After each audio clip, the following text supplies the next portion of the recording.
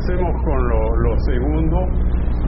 Este acto en Lima es mucho más grande, esa es la diferencia, es el casi el triple de lo que fue el de Trujillo, pero el contenido es el mismo, o sea, los mismos valores, las mismas ideas de optimismo, idealismo que estamos promoviendo.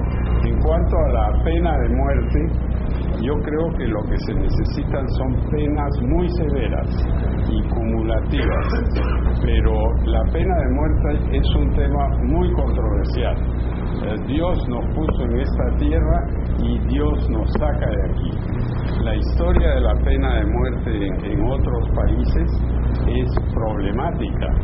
En el estado de Texas, por ejemplo, que es el que más condenas de muerte ha tenido, subsecuentes estudios han demostrado que